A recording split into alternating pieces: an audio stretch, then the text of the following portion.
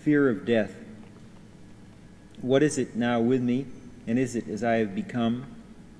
Is there no state free from the boundary lines of before and after?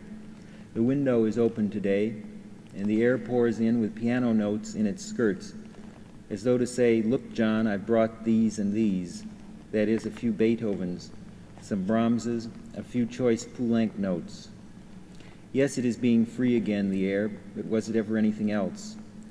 It has nothing to do but show off its fluency, its transparency. It has to keep coming back, for this is all it is good for. What can I make of this?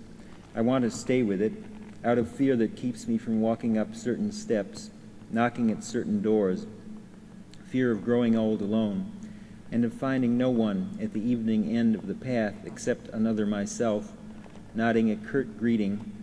Well, you've been a while, but now we're back together, which is what counts. Air in my path you could shorten this, but the breeze has dropped, and silence is the last word.